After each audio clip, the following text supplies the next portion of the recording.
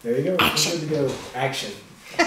All right, so we um, are going to talk about my testimony tonight. First off, I want to make sure everybody knows the schedule. Tomorrow night at 6 o'clock, we will be opening the church for the first time in a couple of weeks for an unaddicted service.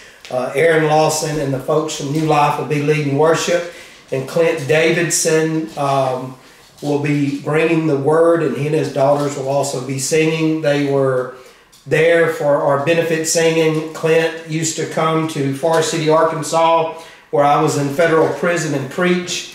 He's dynamic and excited to hear him bring the word tomorrow night. Sunday morning we'll be back normal service at 10:30.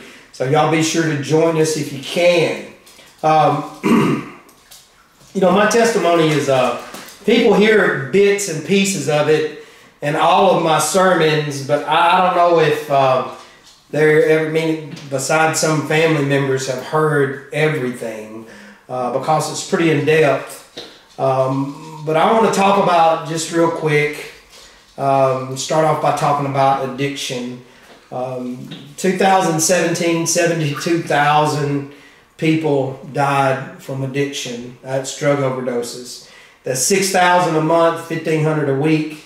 214 a day, nine per minute, one per six seconds.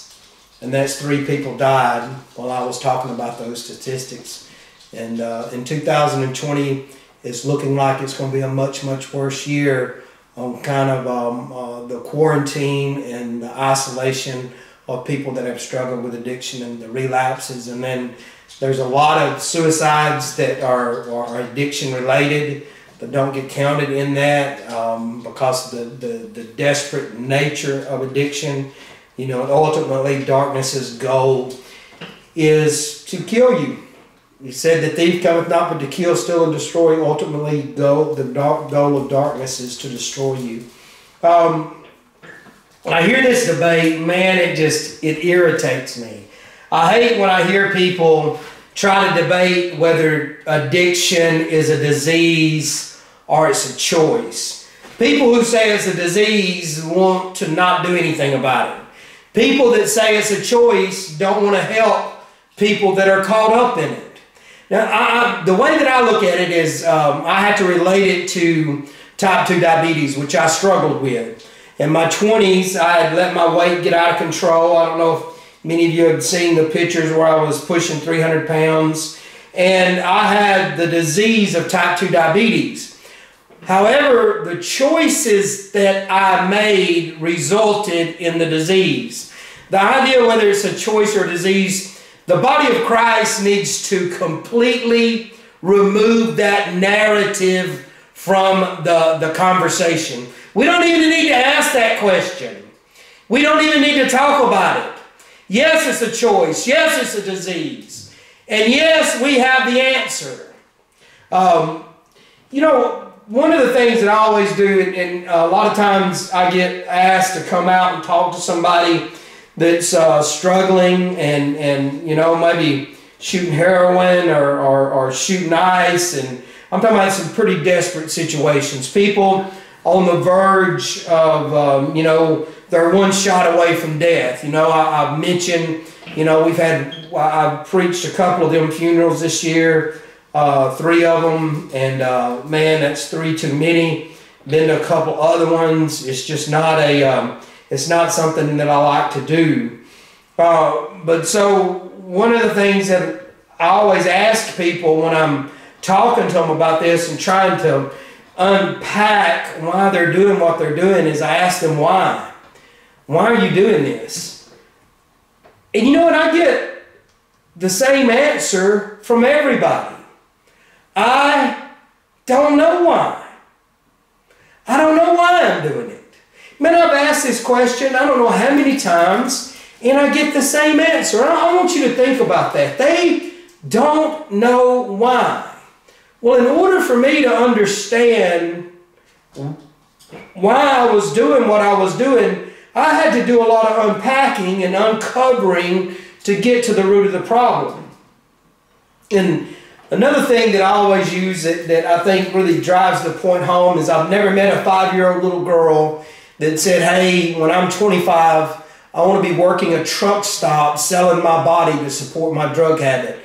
Has anybody ever met a five year old little boy that said, hey, by the time I'm 23 years old, I want to be doing 20 years in, in state prison uh, to be just like my daddy for selling dope? Or by the time I'm 30 years old, I want to be strung out on alcohol? Kids never think like that. Why? Because that's not a life goal. But something between the time they were five and the time they were 30 and the time they were five and the time they were 25 something happens. The why is what we have to unpack. And what I'm going to do is I'm going to try to unpack my why. But before I get there, we need to talk about generational iniquities or, or, um, or uh, DNA issues or learned traits. We often see that children and grandchildren and even great grandchildren will suffer the, the sins of their parents, grandparents, and great grandparents. And we can even back that up in uh, Exodus, the 20th chapter. It says that the sin, the particular sin, will be passed to the third and the fourth generation. So, this iniquity, this propensity toward a particular sin. Well, I want to talk about my dad real quick. A lot of people know my dad as Bishop John Odell Green Sr. White hair, 850 credit score. His yeses were yeses. His no's were no's. no's. He was a man of integrity. He was a man of exceptional character. He was a man that loved his family. That's how y'all know him. Let me tell you about the other Odell Green, the bootlegger, the vice president of the Iron and Steelworkers Union, the man strung out on speed, that had an addiction to methamphetamine. Let me tell you about a man that got saved, and then one of his union buddies, resigned from the union, and one of his union buddies walked up on the loading dock and slapped him in his face as hard as he could. Daddy looked at him and said, Hey, why'd you do that? He said, I wanted to see if you were really saved. Let me tell you about a man that told me about how he stabbed a man in the back one time the, the, the blade of the tip of the butcher knife broke. The knife slid down his pants, cut his belt, and then they beat the mess out of. And let me tell you about the time that my mom unloaded a shotgun. 30 minutes later, somebody knocks on my dad's door wanting to fight. My dad takes the shotgun, he puts it in the guy's face, pulls both triggers, thinking the gun was loaded, but my mom had unloaded that gun. So here we got a violent man, a real outlaw, a bootlegger, and his sin tendencies were passed down to me. My grandfather on my dad's side had some serious mental illnesses. My grandfather on my mother's side was a raging, mean Irish German alcoholic that was abusive to his wife. Now, all these men got saved and come to the Lord and preached the gospel late in life, but they passed some sin iniquities down to me. And that is important that we realize that. We have to understand generational iniquities and how to break those iniquities with um, under the obedience of Christ. So I'm going to go, I can remember vividly back to four years old. We uh, lived in some apartments in West End. I can remember even uh, partially uh, visiting my grandmother in Mount Olive uh, when I was three years old, going outside and picking poke salad for her to cook for me.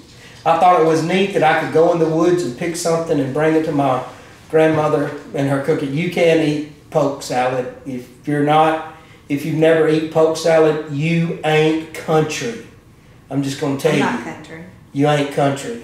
Maryland's not country. She ain't never eat poke salad and eggs. Mm-mm. But uh, I can remember that. But when I was uh, four years old, we lived in apartments in West End, and a couple of blocks away there was a park. And at that time, even at four years old, me and my little friends, I had a little girlfriend. Her name was Connie, and I remember her name. Uh, Heinkemp was her last name. Her parents were dead. I remember all of that. That I need to mention her name. I didn't mention her name. I did. Facebook Live. But anyway, we were rumbling around the back of an apartment walking, and we seen uh, uh, the dogs had gotten in some garbage. And there in the garbage was a porn magazine. Four years old, exposed to pornography in 1972. What's the chances of that happening? At around six years old, five and six years old, I noticed that the smell of gasoline was very intriguing to me. Mom and Daddy caught me uh, between the washer and the wall with my nose in a can of gas, high as a kite at five and six years old. Um, we, this is the hard part. This is where it really gets ugly. This is the why. So we see those traps.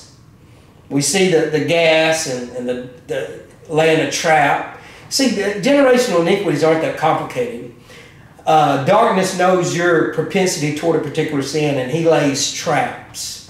See, like trying to get me to gamble is stupid. I'm just not going to gamble. You know, trying to get me to gamble is stupid. I'm not going to gamble. You can't entice me to gambling. It doesn't make sense to me. I'd rather spend my money on something else. That's, you know, but um, getting high, money, um, sex, stuff like that are things that I was very, had a propensity toward. And um, so around nine years old, I had an uncle that, um, a great uncle, uh, and he's gone on to be with the Lord now. And um, he started molesting my little brother and myself. My little brother has been dead for um, 20 years now, um, 21 years now. And um, it was a lot worse on him than it was me, you know, and I still blame myself for a lot of that. I didn't really understand what was going on, but when I realized that he was hurting my little brother, that's when I called attention to the situation and everything stopped. Now, the counseling should have been a part post that, but it wasn't. Back then, I guess we just thought it was best to just keep everything quiet. Well, it wasn't a good idea to keep everything quiet. You know, if your kids are going through something like that, uh, I'm a big, big proponent in counseling. Um, you can call it secular counseling, Christian counseling. These people know to help you process your emotions, and it's important that if our kids are going through something like that, that we um, we get them there. Well, so um, what happens? What happens? We were, um, so when something like that happens to a, a, a male, a man, we um, uh, start to feel very weak. Uh, we feel very, um, you know, we're kids, we can't help ourselves. So we, in me, it built this rage, this fight, this um, um, this intense anger. Um, and that was already my dad and my grandfather on my mom's side already had anger problems. My dad was a very angry, very rageful man. I mean, even later in life, even as a minister, man, he would get mad. He would, he, he would get intense. He would really get mad. Uh, so that built this rage and everything inside of me, and um, you know, it caused me a lot of problems in my life. Now, my dad started pastoring a church. Um, he had a decent job. Um, he worked really hard, but we had two sets of bills. We had the bills that um, were for the house, and then we had the church's bills. So we didn't ever have as much as the rest of the kids. You know, I had to save up to buy my first car, uh, 1973 Ford Maverick $650 is what I paid for it. Uh, and I saved that money, I earned it. Um, and uh, um, so it, when I was looking at all this stuff, these other kids getting new cars at school, something was inside of me that I wanted to be successful. And I wanted to be successful at any cost. Now, one of the good points about that is, is I developed an incredible work ethic whether I'm working for minimum wage or uh, $150 an hour, uh, I'm going to give you the same effort. The amount of money doesn't matter to me. I just go to work to work, whether it's in the gym or pastoring a church or whatever I'm doing. Sometimes I get um, disorganized, sometimes I get scattered, sometimes I lack focus, but man, I am wide open I'm going to get something done. So I had this burning desire to succeed by any means. Um, the weak and helpless feeling just never went away. I rebelled uh, when I was 17 years old really hard. I moved out of my mom and dad's house. I still graduated high school, had a full time job. I enlisted in the Army. When I got out there, we lived a very sheltered Pentecostal life. No football games, no movies. Um, my sister wasn't allowed to wear pants. Uh, it was old school Pentecostal bondage. So that instilled some more issues in me toward church. It was uh, a right relationship with God by following a list of rules instead of getting a right relationship with God and then God working on you from the inside out instead of the outside in. Entire different subject. But here I get in the army and I go wild, man. I start drinking. Um, I start fighting. I join a taekwondo class. I start doing some mixed martial arts. Um, you know, next thing I know, I hit the charge of quarters. Um, I get in a fight with five MPs. Um, I lose all my rank, and they give me. Um, they're looking at sending me to military jail. Um, but my work record was really, really good. So um, I ended up getting a general discharge under honorable conditions. At the same time all this was going on, there was a, an evangelist by the name of Bill Clark. He's on my friends list. He was running a revival for my dad when I was in the Army. My mom knew I was in trouble. You know how moms are. So mom was praying and seeking God. And the more she prayed, the more trouble I got into. Desert Storm's about to kick off. And I'm in headquarters, headquarters company Material Maintenance Command, Division Support Command. I'm in the first company to get deployed for the 1st Infantry Division. We are the first to go. And we would have went to Kuwait or Iraq or wherever they went. Well, right before all that kicked, kicked off, my mama prayed me out of the military. And I didn't go. If I'd have got over there and started shooting stuff, I ain't no telling what would have happened to me. I, I don't know. I might have got killed, whatever, but God had a different plan.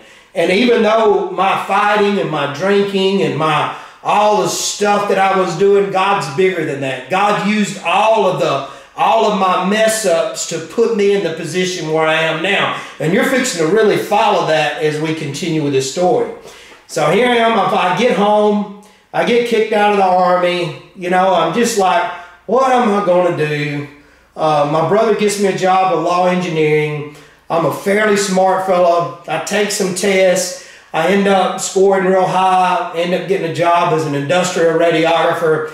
Next thing you know, uh, Hurricane Hugo comes through and I'm down in the Virgin Islands.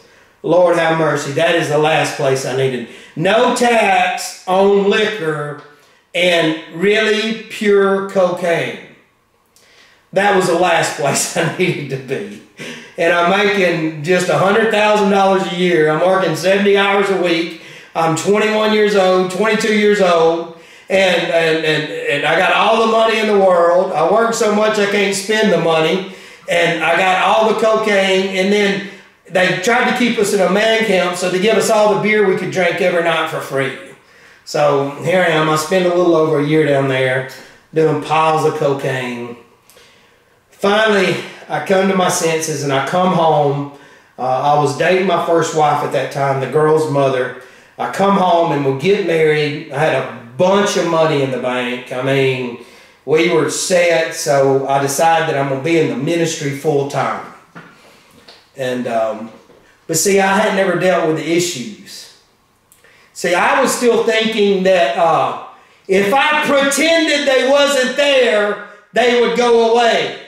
They don't go away.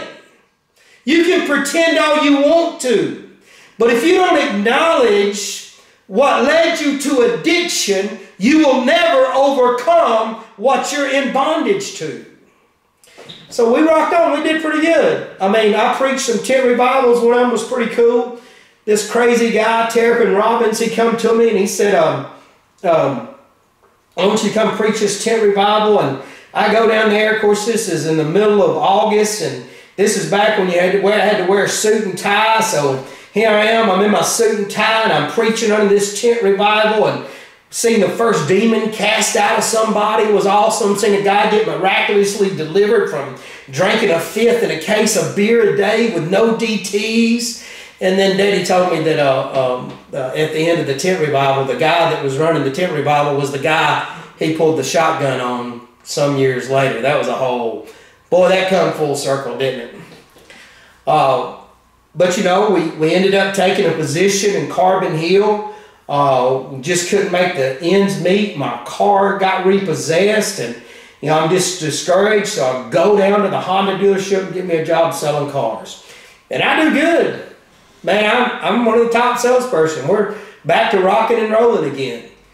Um, eventually, I, I, moved into management and, and with the car business, and then eventually I got out of that and I opened an alarm company, uh, First Response. I'd been in the alarm business before. Uh, the first seven months in business, we did $2.1 million. The first full year, and uh, uh, first 12 months, we did 4.3 million. The first full year in business, we did 4.7 million dollars. I opened an internet company, which was an ISP back when it, you know, the AOL dial-up. We had a local one in Fultondale, Alabama. Then I opened an investment company where I buy alarm contracts and bundling them and then selling them to Ameritech and um, Protection One and ADT uh, and Monitronics. Um, but during this all this time, um, I had resisted uh, ever taking a pain pill. I had blew my knee out, um, my left knee, and I've had two surgeries on it. And I got uh, incredibly overweight, and it was hurting really bad. Well, one of the uh, one day, um, I'm sleeping about two hours a night. I'm eating ibuprofen by the handfuls. Uh, had the three businesses one day I sat down in front of a computer and I have a grand mal seizure. Turns out I'm anemic, my stomach's bleeding. So the doctor says, You cannot take any more NSAIDs. But what I'm going to give you, I'm going to give you, uh, back then it was Lortab. And uh, he gave me Lortab. And that did good for a while. But I knew that because the addiction in my family, because my siblings, all of them had been addicted to, to pain medications, I knew I didn't need to do that. Now, what I needed to do is I needed to lose weight. I was five six. I think I was five seven then. I'm five six now, and I was three hundred pounds. I needed the doctor to help me lose weight, but he didn't. He gave me a pill, and he gave me a pill for my type two type two diabetes. He gave me a pill for my uh, liver uh, enzymes. He gave me a pill for my cholesterol. He gave me a pill for my high blood pressure, and eventually he started giving me a pill for my anxiety and a pill for my depression. One pill after another pill on another and you know how it goes. You know how the story goes. And what he should have said is said, hey, you need some counseling and you need to stop eating donuts. But he didn't do that because doctors, they practice medicine. They write prescriptions. After a while, the Lortab didn't work. And I remember sitting down in front of Dr. And I know I shouldn't mention names. Let me tell you about this joker. Dr. Winston Bradley Walker County, Alabama, Jasper, the opiate uh, capital of the world. Sat down from him. He said, Man, this pharmaceutical rep told me about this great new pill. It's called Oxycontin. It's 80 milligrams, it's time release, it's not as addictive. Man, I like those things, especially when I figured out you could eat the coating off of them and crush them and snort them and you could get that full 80 milligrams. And then I found me a pharmacist that was compounded and in the back of his pharmacy. And I, you know, I, by then I'm, I'm back in the, I done lost the alarm company. I'm back in the car business. I'm making 20, 30, 40, even $50,000 some months. So money wasn't an issue. I could buy anything I wanted. And I was just getting high. but then you know, my mama kept praying. So here I am. I got a, from the pornography, I got this incredibly detestable sexual addiction. I was angry. I was cocky. I was arrogant. Forgiving people wasn't even in my vocabulary. I brought all of those addictions and all of that junk into my marriage. Five years into our marriage, we adopt Sarah. Four years later, we adopt Christian. Then we have Beth. Then we have Rachel. And then here I am.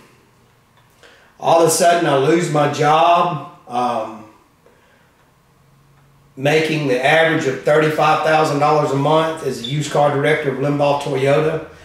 And um, my life becomes, it was already unraveled. It was just a mess. It was just a mess. We may have had the big house. We may have had a person to help us clean the house. We may have had somebody to help us watch the kids. We may have had a $900 a month car payment. We may have had a $2,600 a month house payment. We may have had marble thresholds, but it was a mess. It was awful. I can't even describe the stress because everything that I was doing I knew was wrong. So then uh, my first wife started cheating on me. And I, I don't blame her.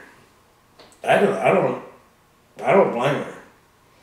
I worked 90 hours a week. I was 300 pounds. I wasn't much to look at.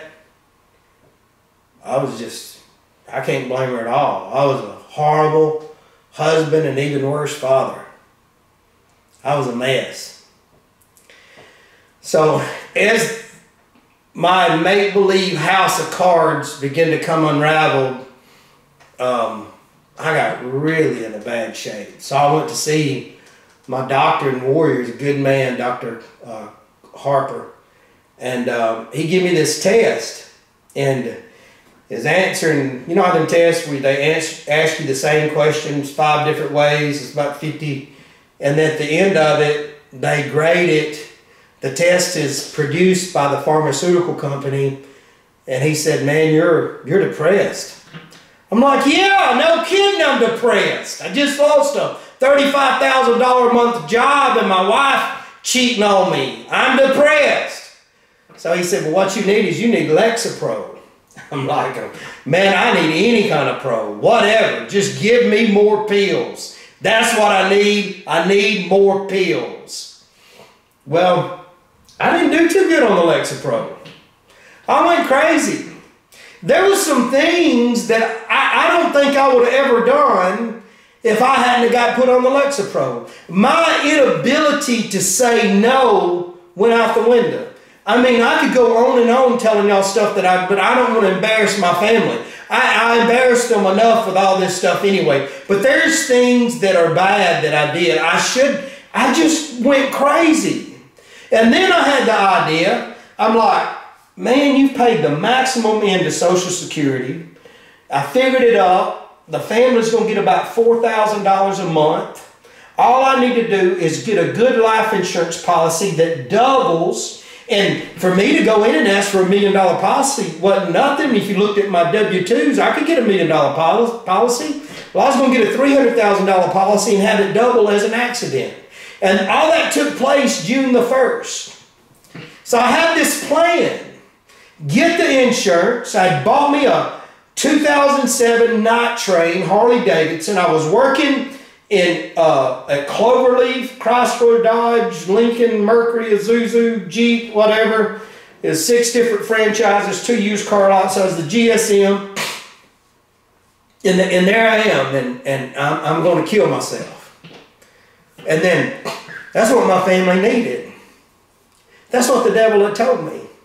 The devil had told me that you they don't need you. They just need money so they'll be okay. They'll do better without you. And I believed it.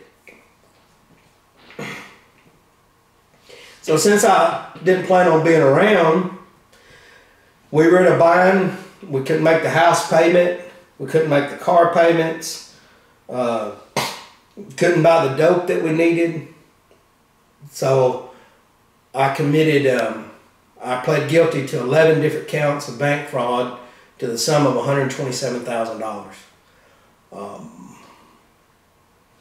I wasn't really worried about getting caught because I didn't plan on being around. One day, Christian and I were pulling out of the uh, neighborhood, Hickory Ridge and Dora, and I looked in the rearview mirror, and there's about seven or eight cars with flashing lights, but only one of them had flashing lights on top of the cars. I don't know if you know what that means, but that means the feds. So they pulled us over. Um, uh, the detective was really nice. He'd been watching me for a while. And he said, I know you got kids. We don't want to handcuff you in front of your kids. If you promise to act right, uh, we just need to search your home. We got a search warrant. So here they go. They're going through the house. I look over there, and of course, anytime they come, uh, um, uh, somebody's coming with a machine gun, and I look over there, and there's an FBI agent playing Xbox with Christian. I'll never get that picture out of my head. He was he was uh, um, he wasn't but about six years old. Um, yeah, he was six years old, and um, they got everything they needed. Uh, they put me in the back of the cop car, and they took me and booked me into the Walker County Jail, May twenty fifth, um, two thousand and seven. Um, T.J. Armstrong booked me in. He doesn't even remember. I'm like, that is a redneck Arab dude.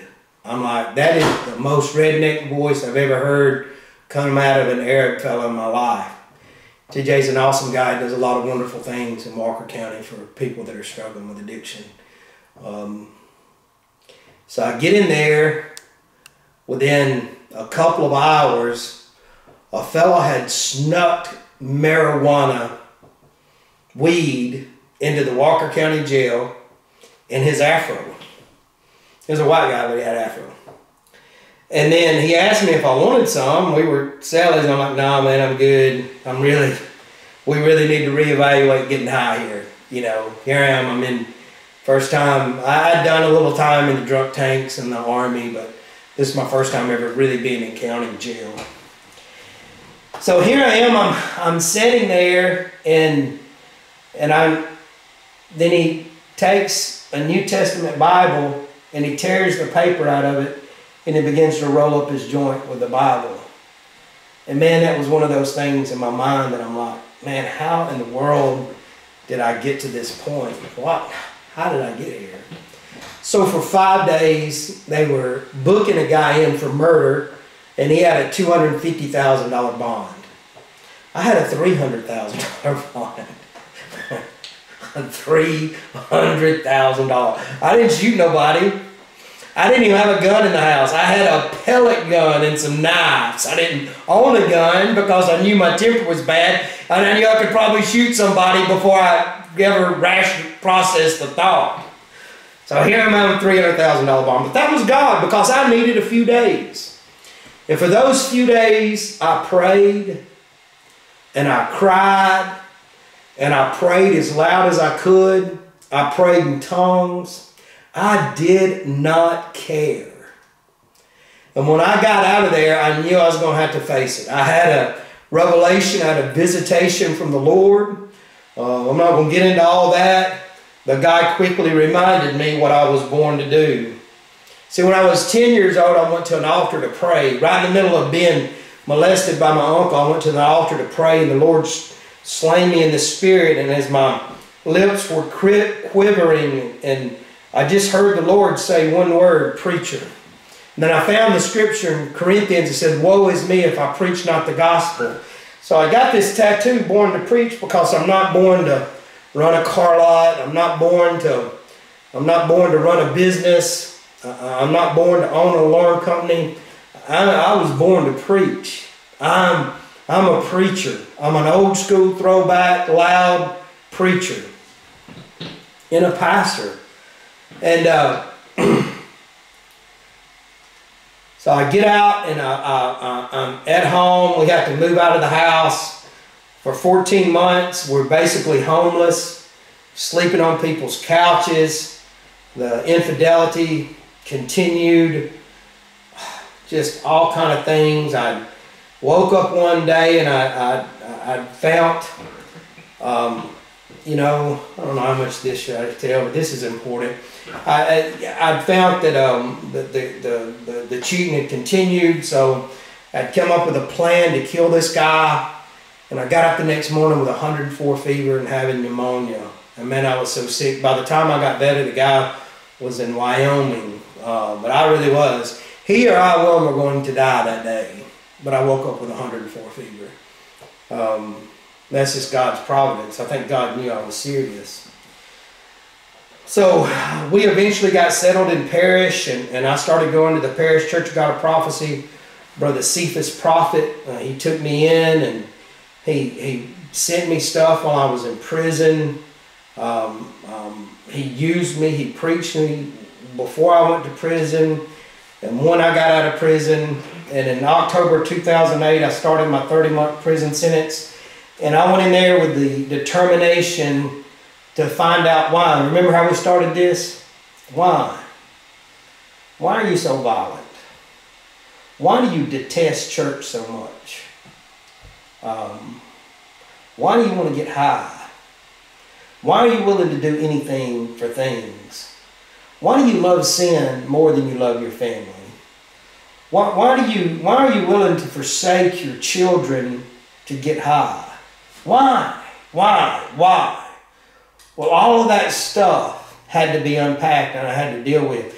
The unforgiveness for my uncle, the unforgiveness for myself concerning my little brother, feeling like I abandoned him when I joined the army, the, the, the unforgiveness for my ex wife, the, the unforgiveness for my parents about not dealing with the you know, getting me some help when I'm nine and ten and, and I don't understand what's going on, you know.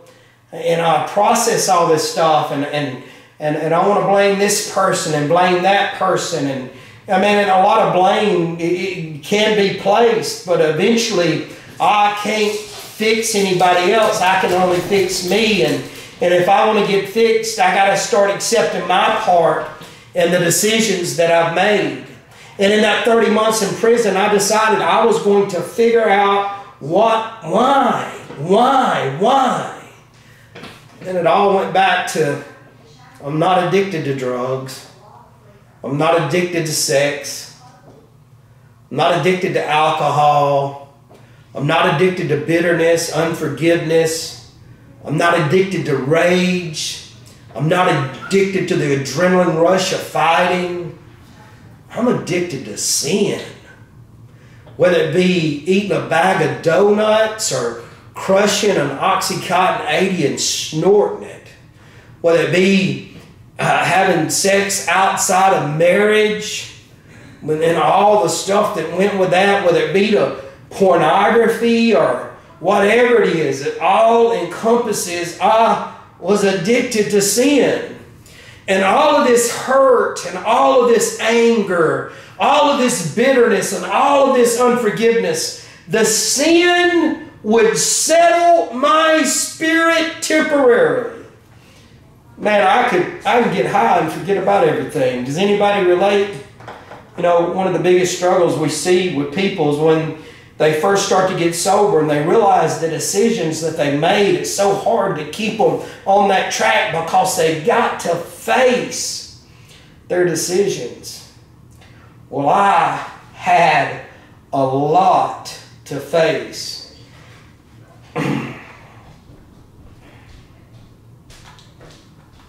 so I get out of prison and I go to church at Parrish Church God of Prophecy uh, I receive a direct word from the Lord to get a divorce. Uh, I didn't have any choice. I, I don't. I blame the failed marriage on me, but I mean, I, I they, we were just headed.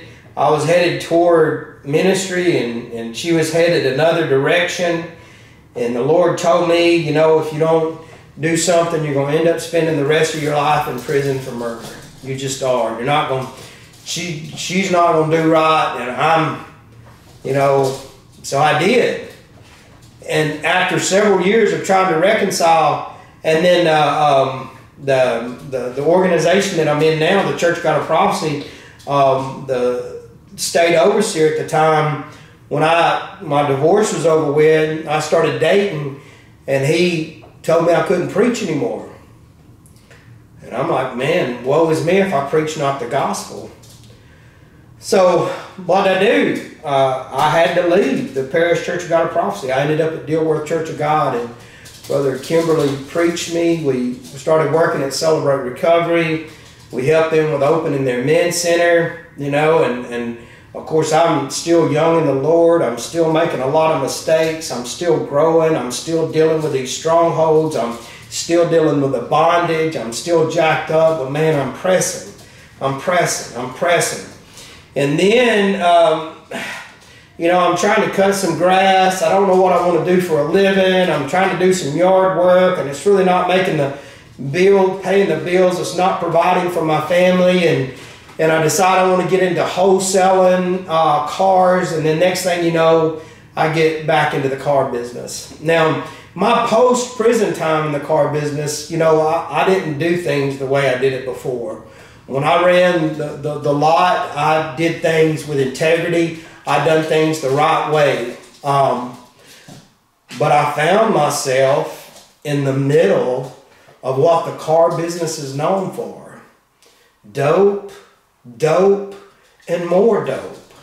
Here I am, I'm trying to preach the gospel, working at Celebrate Recoveries, and there is drugs all around me, even in the, the, the small little lots, even you know, it's just, it's a mess. And I'm like, how did I end up here?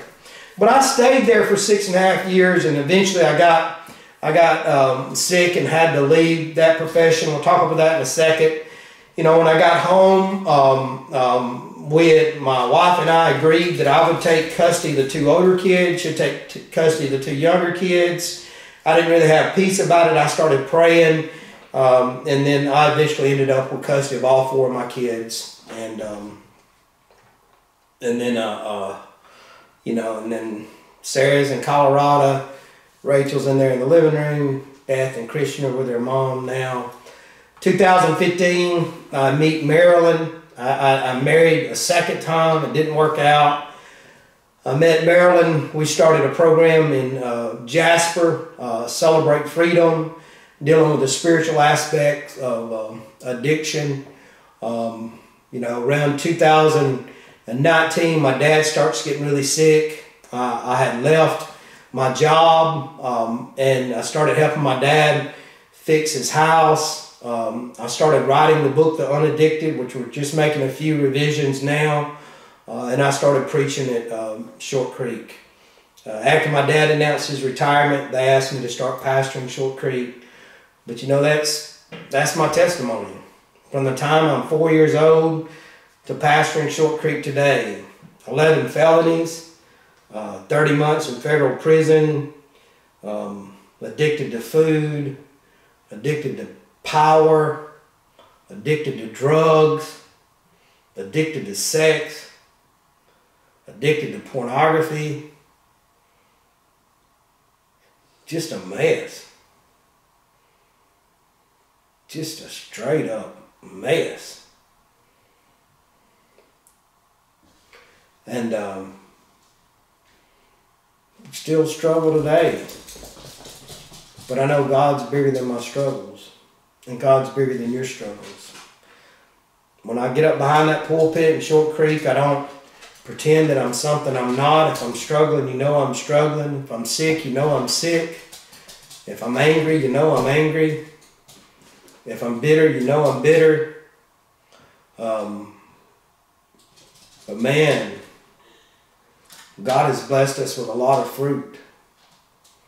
When I look over that congregation and I see the Morgan Gills, the Mark, the Melissas, the Tammy Ballingers, um, when I see all these people that the Lord has blessed us with at Short Creek, when I see the lives that have been changed, um, it lets me know that I'm on the right track. So, my tattoo may disqualify me in some of your eyes. My may not like my beard, may not like my ripped jeans, may not like my record, and that's cool. That's your prerogative. But I'm not going to stop for nothing or nobody. So that's my testimony. I hope it helps somebody. Um, You know, no matter where you're at in life, no matter the mistakes that you've made, no matter what's going on, God is bigger than your mistakes. God can pick you up out of that pit, put your feet on solid ground. You're not too bad to be used by God. Look at the people the Lord has used in the Bible. Look at what's going on at Short Creek, and I, am the pastor. I promise you, God needs you. God wants you. God loves you. And God will restore you. Just like He has done for me and so many people that have struggled the way that I have. God bless y'all. Y'all have a good day.